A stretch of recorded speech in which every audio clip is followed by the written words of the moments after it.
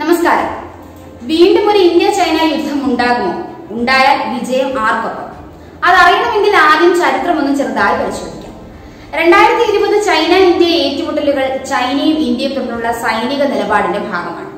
ഇന്ത്യയും ചൈനയും തമ്മിൽ ആയിരത്തി തൊള്ളായിരത്തി അറുപത്തിരണ്ടിൽ നടന്ന അതിർത്തി തർക്കത്തെ തുടർന്നുള്ള യുദ്ധമാണ് ഇന്ത്യ ചൈന യുദ്ധം. ഹിമാലയ അതിർത്തി തർക്കമാണ് ഈ യുദ്ധത്തിന്റെ പ്രധാന കാരണം. ഇന്ത്യ ദലൈലാമയ്ക്ക് അഭയം നൽകിയതും ഈ യുദ്ധത്തിന് കാരണമായി എന്ന് പറയപ്പെടുന്നു. ആയിരത്തി തൊള്ളായിരത്തി അറുപത്തിരണ്ട് ഒക്ടോബർ ഇരുപതിന് തുടങ്ങിയ യുദ്ധം നവംബർ ഇരുപത്തൊന്നിന് ചൈന വെടിനിർത്തൽ പ്രഖ്യാപിച്ചതോടെയാണ് അവസാനിച്ചത്. അതിനോടൊപ്പം ചൈന തർക്ക പ്രദേശത്ത് നടത്തിയ മുന്നേറ്റത്തിൽ നിന്നും പിന്മാറാനും തയ്യാറായി. രണ്ടായിരത്തി ഇരുപത് മെയ് അഞ്ച് മുതൽ ചൈന ഇന്ത്യൻ സൈനികർ ചൈന ഇന്ത്യൻ അതിർത്തിയിലെ സ്ഥലങ്ങളിൽ ആക്രമണാത്മക നടപടികളിലും മുഖാമുഖം ഏറ്റുമുട്ടലുകളും ഏർപ്പെട്ടു.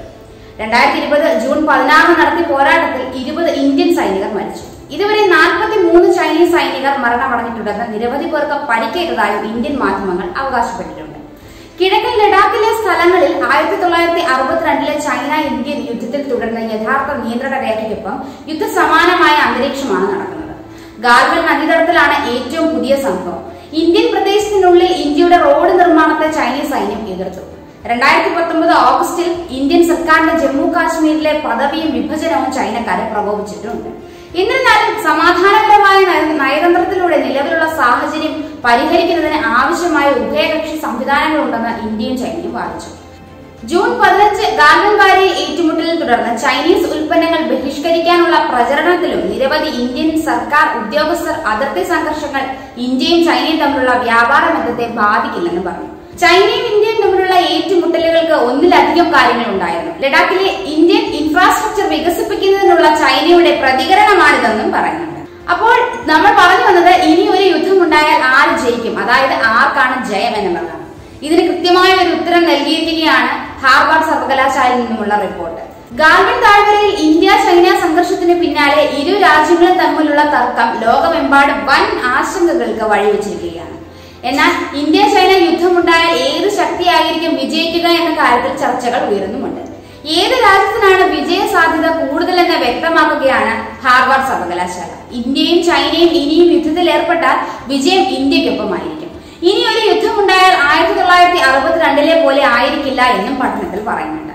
ചൈനയുടെ ഭാഗത്ത് എത്ര സൈനികർ കൊല്ലപ്പെട്ടു എന്ന കാര്യത്തിൽ വ്യക്തമായ കണക്കില്ല. എന്നാൽ ഇന്ത്യയുടെ ഭാഗത്ത് വ്യക്തമായ കണക്കുകൾ ലഭ്യമാണ്.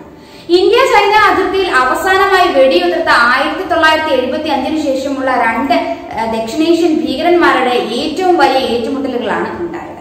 ഇരുപത് ഇന്ത്യൻ സൈനികർ കൊല്ലപ്പെട്ടതായ റിപ്പോർട്ടുകളും ഉണ്ട് ഇരു സൈനിക ശക്തികൾ എൽ എസിൽ ഉപയോഗിക്കാൻ കഴിയുന്ന വ്യോമസേനകൾ എന്നിവയെല്ലാം കണക്കിലെടുത്തുകൊണ്ടാണ് പഠനം റിപ്പോർട്ട് ചെയ്തിട്ടുള്ളത്. ചൈനയുടെ ഭീഷണികൾക്കും ആക്രമണങ്ങൾക്കുമുള്ള അപകട സാധ്യത കുറയ്ക്കുന്ന പരമ്പരാഗത നേട്ടങ്ങൾ ഇന്ത്യയ്ക്ക് വിലമതിക്കാനാവാത്ത വിധം കിടക്കുകയാണെന്ന് പഠനം വിലയിരുത്തുന്നുണ്ട്.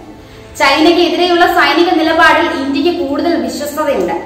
ചൈനയുടെ ഭീഷണിക്കും ആക്രമണത്തിനുമെതിരെ ഇത് ഇന്ത്യയ്ക്ക് ഗുണകരമായേക്കും ഇന്ത്യക്കെതിരെ ഒരു യുദ്ധം തുടങ്ങിയാൽ പോലും ചൈനീസ് സേനയുടെ ശക്തി ഗുണകരമാകില്ലെന്ന് പഠനത്തിൽ ചൂണ്ടിക്കാട്ടുന്നു. സേനയുടെ പല വിഭാഗങ്ങളിലും ടിബറ്റിലും സിൻജിയാങ്ങിലുമുള്ള കലാപകാരികൾക്കുമെതിരെ നിലയുറപ്പിച്ചിരിക്കുകയാണ്. എന്നാൽ ഇന്ത്യയുടെ കൈവശമുള്ള സൈന്യം തികച്ചും ചൈനയെ ചെറുക്കാനുള്ളതുണ്ടെന്നും പഠനത്തിൽ വ്യക്തമാക്കുന്നുണ്ട്.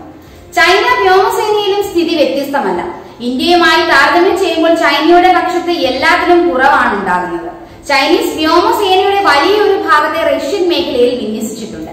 ഇന്ത്യൻ ഈസ്റ്റേൺ എയർ കമാൻഡിന് ചൈനയ്ക്കെതിരെ ഒരേ സമയം നൂറ്റിയൊന്ന് പോരാളികളെ ഇറക്കാൻ കഴിയും.